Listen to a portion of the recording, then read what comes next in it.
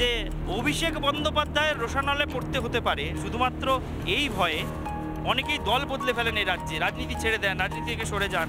অভিষেক বন্দ্যোপাধ্যায়কে সাংঘাতিক ভয় পান অনেক দলের নেতাই। এবং তৃণমূলের তরফ থেকেও এরকম একটা প্রচার কিন্তু মানে একটা হুইসপারিং ক্যাম্পেনের মতন চালানো হয় যে অভিষেক বন্দ্যোপাধ্যায় মহাশক্তিধর মহা ক্ষমতাশালী আপনার ভয় লাগেনি কোথাও? দেখুন, জঙ্গলে শুধু একটা বাঘ বা একটা সিংহ থাকে না। একটা বড় জঙ্গলে অনেক বাঘ, অনেক সিংহ থাকে। তার বিচার হয় যখন ফ্রন্টেশন হয়। তো ফ্রন্টেশনে বিচার হয়ে গেছে, এ নিয়ে আর কি বলব আমি? কে আমি জানি না, ওকে। আমি আমি চিনি না, আমি ওকে রাজনীতি আমরা যখন রাজনীতি করেছি, ও তখন স্কুলে পড়ে। না, কিন্তু শান্তনুদা একটা বিষয় তো ঠিক যে অবশ্যই আপনি দু হাজার লোকসভা নির্বাচনে অনেককে চমকে দিয়ে বনগা থেকে বিপুল মার্জিনে জয়ী হয়েছিলেন। তারপর কেন্দ্রীয় মন্ত্রীও হয়েছেন, আপনার জনসংযোগ আরও বেড়েছে। আমরা দেখেছিলাম দু হাজার একুশের লোকসভা নির্বাচন, এই বিধানসভা নির্বাচনের পর যখন ভোট পরবর্তী সন্ত্রাস হচ্ছে, আপনার দলের কর্মীরা আক্রান্ত হচ্ছেন, আপনি বাড়ি বাড়ি ছুটেছেন। অন্য অনেকে হয়তো ছোটেননি, কিন্তু আপনাকে আমরা দেখেছি বাড়ি বাড়ি যেতে। সব কিছু মিলিয়ে আপনার চর্চায় ছিলেন, কিন্তু যখন দেখা গেল যে অভিষেক বন্দ্যোপাধ্যায়ের সঙ্গে আপনার একটা সরাসরি সংঘাত, মুখোমুখি সংঘাত, এবং তিনি চ্যালেঞ্জ নিয়ে প্রায় গোটা প্রশাসনকে কাজে লাগিয়ে হাফ ডজন মন্ত্রীকে আসরে নামিয়ে দিয়ে ঠাকুরবাড়িতে এসে মন্দিরে ঢুকতে চাইছেন। অন্যদিকে আপনি দাঁড়িয়ে রয়েছেন বুক চিতিয়ে যে আপনি ঢুকতে দেবেন না। এই ঘটনা ঘটে যাওয়ার পর আপনার আত্মবিশ্বাসের পাশাপাশি আপনার ভাবমূর্তিও কি আরও অনেক উঁচু হয়ে গিয়েছে বলে আপনার মনে হয়? সেটা তো সাধারণ মানুষ বলবে। আমার ভিতরে আত্মবিশ্বাস ছিল, আছে এবং থাকবে। কারণ আমি জনসেবার কাজে নেমেছি। সেখানে কোনো প্রকার অন্যায়কে সহ্য করব না। যারা আমার ধর্মের ঠাকুর, আমার ধর্মের ঠাকুরকে যারা গালাগালি করে, তারপরে তারা জুতো মেরে গরুদান করতে আসে, তো সেই সমস্ত লোককে ছাড়া নেই। সে যেই হোক, সে যেই হোক আর সাধারণ মানুষ আমার সঙ্গে আছে। তো এরা হাফ ডজন কেন? দশ ডজন মানুষ নিয়ে এলেও কিছু করতে পারবে না। না, একেবারেই তাই, কিন্তু কিন্তু আপনি আটকে ছিলেন কি করে? মানে সেদিন আমরা পুরো লাইভ কভারেজে ছিলাম। সেদিনের যে রণক্ষেত্রের চেহারা নিয়েছিল ঠাকুরবাড়ি চত্বর, গোটা ঠাকুরনগর, তারপরে সেই পুলিশি ধরপাকড় সবটাই টেলিভিশন চ্যানেলে উঠে এসেছিল। কিন্তু আপনি কীভাবে সেদিন আটকে ছিলেন সেই ঘটনাটা আজকে এই রোড শোর ফাঁকে আরেকবার একটু মনে করিয়ে নিতে চাইব আর সরাসরি আপনার মুখ থেকে জানতে চাইব যে সেদিন এই প্রায় প্রায় অসাধ্য সাধনটা আপনি করেছিলেন কীভাবে? তো সাধারণ মতুয়ারা যদি, স্থানীয় লোকেরা যদি না ঢুকতে দেয়, পুলিশ প্রশাসন কি করবে? এখানে মারধর করবে? পুলিশ প্রশাসন ওখানে ওদিন মারধর করলে ওদিনকে অনে- অনে- অনেক কিছু হয়ে যেত। সেটা পুলিশ প্রশাসন টের পাই, টের পেয়েছে বিধায় আগায়নি। আর অভিষেক বন্দ্যোপাধ্যায়ের এখানকার লোকাল স্থানীয় বিচার আচার সম্পর্কে কোনো ধারণা নেই। ও কি বলল, না বলল, কি যায় আসে একেবারেই একেবারেই তাই কিন্তু মানে এই বিষয়ে আমার শেষ প্রশ্ন যে অভিষেক বন্দ্যোপাধ্যায়ের রোশানলে পড়তে হতে পারে, শুধুমাত্র এই ভয়ে অনেকেই দল বদলে ফেলেন এই রাজ্যে, রাজনীতি ছেড়ে দেন, রাজনীতি থেকে সরে যান। অভিষেক বন্দ্যোপাধ্যায়কে সাংঘাতিক ভয় পান অনেক দলের নেতাই এবং তৃণমূলের তরফ থেকেও এরকম একটা প্রচার কিন্তু মানে একটা হুইসপারিং ক্যাম্পেনের মতন চালানো হয় যে অভিষেক বন্দ্যোপাধ্যায় মহাশক্তিধর মহা ক্ষমতাশালী আপনার ভয় লাগেনি কোথাও? দেখুন, জঙ্গলে শুধু একটা বাঘ বা একটা সিংহ থাকে না। একটা বড় জঙ্গলে অনেক বাঘ, অনেক সিংহ থাকে। তার বিচার হয় যখন ফ্রন্টেশন হয়। তো ফ্রন্টেশনে বিচার হয়ে গেছে, এ নিয়ে আর কি বলব আমি? মানে এখানে কি দুই বাঘ মুখোমুখি হয়েছে? আপনি কি অভিষেক বন্দ্যোপাধ্যায়কেও বাঘ বলতে চাইছেন? না বাঘ বলতে চাইছি না। এই জঙ্গলে অনেক বাঘ থাকে।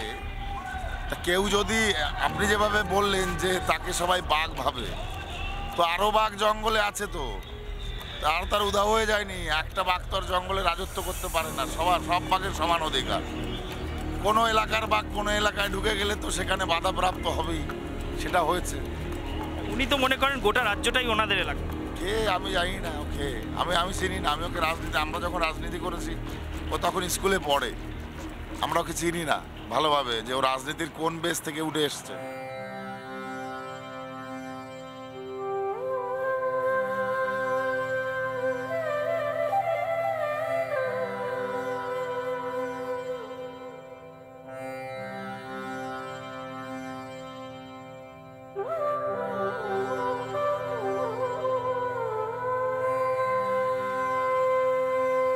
এই যে জলাশয়ের ধারে এই মুহূর্তে আমরা দাঁড়িয়ে রয়েছি, এই জলাশয়ের নাম কামনা সাগর। এই জলাশয় যারা মতুয়া মহাসংঘের অনুগামী বা মতুয়া ধর্মাবলম্বী, তাদের প্রত্যেকের জন্য এটা অত্যন্ত পবিত্র একটা জায়গা এবং প্রত্যেক বছর মতুয়া মহাসংঘের সবচেয়ে বড় যে বাৎসরিক উৎসব, সেই বারুণী মেলার সময় সমস্ত মতুয়া অনুগামীরা এসে এই জলাশয়ে ডুব দিয়ে স্নান করেন এবং তাদের বিশ্বাস যে এই জলাশয়ে ডুব দিয়ে স্নান করা মানে ওই পুণ্যতিথিতে যা মনস্কামনা থাকবে সব কিছু পূর্ণ হবে এবং সেজন্যই এটার নাম কামনা সাগর। এবারে বারুণী মেলায় অন্যান্য প্রত্যেকবারের মতো শান্তনু ঠাকুর, যিনি মতুয়া মহাসংঘের সংঘাধিপতি, তিনিও কিন্তু এখানে ডুব দিয়ে স্নান করেছেন। যেহেতু এবারটা নির্বাচনের বছর, সেহেতু এবার তার মনস্কামনা কি ছিল, কামনা সাগরে ডুব দিয়ে তিনি কি প্রার্থনা করলেন, সেটা শান্তনু বাবুর কাছ থেকে আমরা জেনে নেব। এবার বিশেষ করে কি চাইলেন, কি প্রার্থনা করলেন, কোন মনস্কামনা পূর্ণ হওয়ার ব্যাপারে কথা বললেন? আমি কখনোই কোনো মন্দিরে বা কোথাও গিয়েই নিজের জন্য কিছু চাই না। আমি এটাই বলেছি যে ভক্তদের মঙ্গল কামনা করেছি ঠাকুরের কাছে। এবারে খুব ভালোভাবে এসছে সকলে এবং তারা মহাবারণী মেলা সম্পূর্ণ করেছে। এবার সেই হিসাব করে। সময় পান না। সেই হিসেব করে, তো আমি তাদের পক্ষেই প্রার্থনা করেছি। মানে যেদিন আমরা এখানে এসেছি, এখানে এসে আমরা জানতে পারলাম যে আজকে একটা বিশেষ দিন, কারণ মাসের তৃতীয় বুধবার শান্তি সভা বলে একটা কর্মসূচি আপনার এখানে হয়, একটা অনুষ্ঠান। এই এই দিনেও দেখছি প্রচুর ভক্তরা এখানে এসছেন এবং নানা রকম উৎসব অনুষ্ঠান রিচুয়ালস আচার অনুষ্ঠান চলছে। এই শান্তি সভার দিনে মূলত কি পালন করেন? বিশেষ করে নির্বাচনের মধ্যে যেহেতু এরকম হচ্ছে এবং আপনি যেহেতু আছেন, আমি অনেকের সঙ্গে কথা বলে দেখলাম যে এমন একটা দিনে আপনাকে এখানে পাওয়া যাচ্ছে বলে অনেকে খুব সৌভাগ্যবান মনে করছেন নিজেকে। এই দিনটার বিশেষ কি তাৎপর্য? শান্তি সভা হচ্ছে, আজকের দিনে শান্তি মায়ের একটা আলাদা করে স্মরণ সভা হয়। যে স্মরণ সভায় মাতৃশক্তিকে শক্তিশালী করার জন্যেই এটা বড় মায়ের প্রচেষ্টা ছিল। যে মাতৃশক্তিকে শক্তিশালী করা, যে সমাজের মাতৃশক্তি শক্তিশালী হয়, সেই সমাজ তত বেশি শক্তিশালী হয়। সেই, সেটাই একটা যেমন আধ্যাত্মিক বিষয়, তেমনি এটা সামাজিকও একটা ব্যাপক বড় কর্মকাণ্ড। যে কারণে শান্তি সভা রাখে, সব মহিলারা এখানে আসেন। এখানে শান্তি মায়ের নামে আজকের এই দিনটা সবাই হরি সংকীর্তন এই এগুলো করে। এবং তারা আজকের দিনটা ঠাকুরের নামে শান্তি মায়ের নামে উৎসর্গ করেন। যেদিন শান্তি সভা হচ্ছে এখানে সেই মাতৃশক্তির বন্দনাই হচ্ছে। সেই দিনে দাঁড়িয়ে এই দুটোর মধ্যে কোনো কি কানেকশন খুঁজে পাচ্ছেন? যে একদিকে যে রাজনৈতিক দলে আপনি রয়েছেন আপনার যিনি সর্বোচ্চ নেতা নরেন্দ্র মোদী তিনি ওই নারী শক্তির বন্দনা কথা বলছেন আর আপনারাও বহু বছর ধরে এখানে নারী শক্তির বন্দনা এইভাবে করে আসছেন। দেখুন গুরুচাঁদ ঠাকুরের প্রথম যে নারী শক্তি জাগরণের জন্য যে স্টেপ ছিল সেটা হচ্ছে মহিলা কাছারি করা। হরিচাঁদ ঠাকুরের সময় থেকে হয়ে আসছে এটা। তো আমরা মনে করি যে সমাজে নারী শক্তির উত্থান মানে সেই সমাজের একটা ইকুয়াল ব্যালেন্স তৈরি হওয়া। নারীরা পিছিয়ে নেই। তো সমাজের ডেভেলপমেন্ট সেটা চাকরির ক্ষেত্রে হোক আপলিফমেন্ট ক্ষেত্রে হোক, সমস্ত দিক দিয়ে এটা হয়। সেই গুরুচাঁদ ঠাকুরের বাংলাতেই এখন সন্দেশখালির মতন ঘটনা উঠে আসে। এরপরে এই প্রেক্ষাপটে দাঁড়িয়ে এই নারী শক্তিকে আপনি নির্বাচনে কতটা পাশে পাবেন বলে মনে হচ্ছে?